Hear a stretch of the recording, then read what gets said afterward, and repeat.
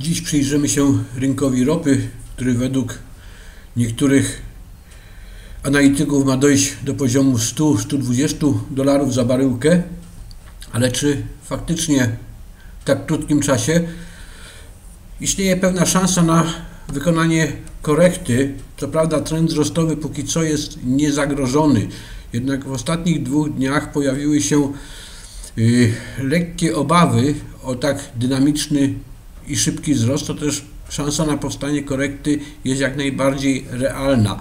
Tym bardziej, że cały ten ostatni wzrost, który obserwujemy od, yy, w ostatnim czasie, jest napędzany przez napięcia na granicy rosyjsko-ukraińskiej i groźbą rosyjskiej agresji na ten niepodległy kraj.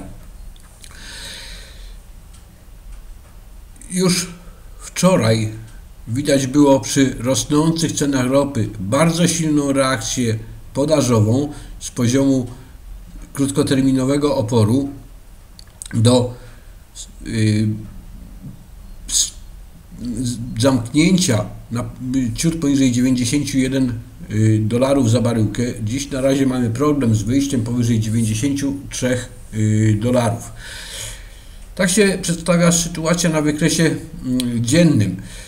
Poziom z września 2014 roku został osiągnięty, natomiast na niższych interwałach zaczyna tutaj y, brakować chyba powera.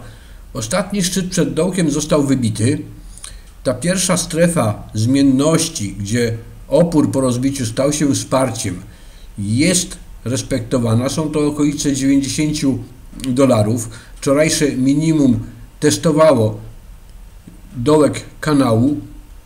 Dzisiaj znowu się podnosimy, ale podobnie jak i wczoraj, początkowa faza handlu podczas sesji azjatyckiej i europejskiej doszła do miejsca, gdzie potencjalny opór na poziomie 95 dolarów za baryłkę powstrzymał wzrosty i bardzo silnym uderzeniem podaży zeszliśmy na niższe poziomy właśnie ciut poniżej 91,20. Czyli jeżeli scenariusz miałby się powtórzyć i te pierwsze świeczki H4 malowały się w stronę kolejnych szczytów 94, 95 dolarów i znowuż pojawienie się podaży może skutkować tym, że zobaczymy cofnięcie w stronę 90 oraz 87 dolarów za baryłkę. Na razie dość duża zmienność, dość duża niepewność na tym rynku. To też granie krótkich pozycji w trendzie wzrostowym jest dość ryzykowne, ale dla odważnych, kto liczy na to, że Y,